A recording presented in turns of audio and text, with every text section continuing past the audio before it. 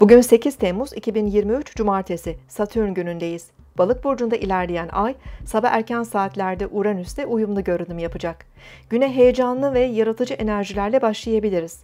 Günlük planlarımızı değiştirip spontane davranışlarda bulunabiliriz. Öğle saatlerinde Ay Yengeç burcundaki Merkürle üçgen görünüm yapacak. Günlük iş ve planlarımızda duygularımızı ve sezgilerimizi iyi bir şekilde kullanabilir, istikrarlı sonuçlar alabiliriz. İş, kariyer, para gibi alanlarda verimli gelişmelerle karşılaşabiliriz. Huzur ve güven hissedebileceğimiz bu saatlerde çevremizdeki kadın figürlerden de daha fazla destek alabiliriz. Sevdiklerimiz ve yakınlarımızla birlikte olacağımız programlar yapabilir, keyif alabiliriz. Yengeç, akrep, balık, boğa burçları bu olumlu etkiyi daha güçlü hissedebilir. Akşam saatlerinde ise Ay, balık burcundaki Neptünle birleşip Plüton'la uyumlu görünüm yapacak.